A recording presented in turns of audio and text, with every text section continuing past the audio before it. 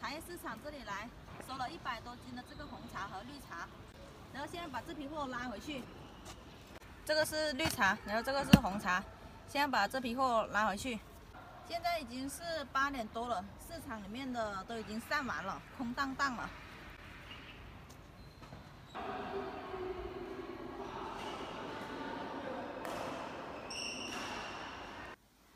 刚才收了这个，现在打包，然后开给你们看一下。这个是三江红茶，这款的话是大好品种的这个。现在最近出的茶，这个比较耐泡，香气也好。哇，一打开这个香气扑鼻而来。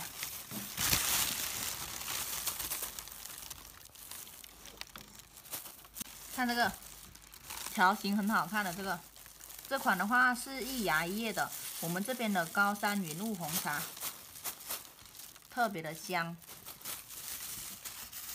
旁边这款，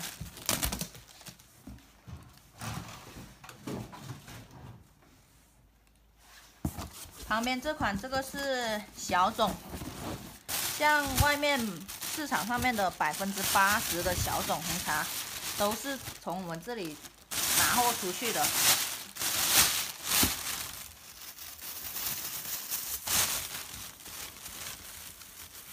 看这个，这个就是小种红茶，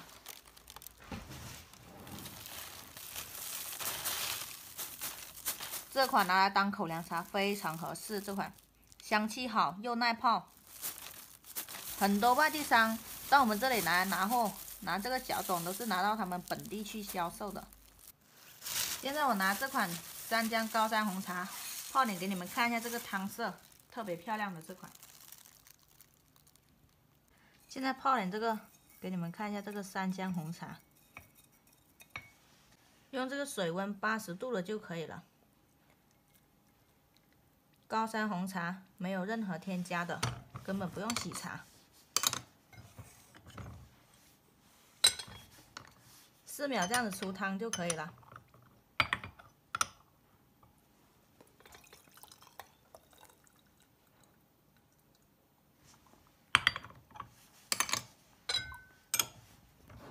看这个汤色，特别的漂亮，特别的透亮。这个汤色没有添加的这个汤色就很透亮，有添加的那些茶的话。它这个汤色是比较浑浊的，油亮油亮的这个汤色。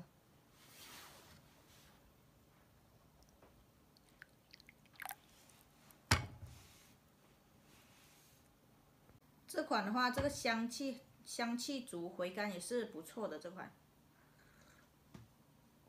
嗯，这个香味很好。好了，今天的视频就先跟大家分享到这里了，我们明天再见了，朋友们。